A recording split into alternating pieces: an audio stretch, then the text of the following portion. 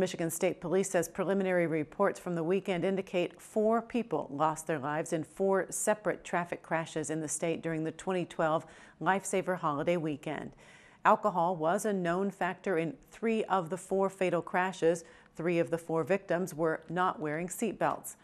Eight people died in eight separate traffic crashes during the same period last year.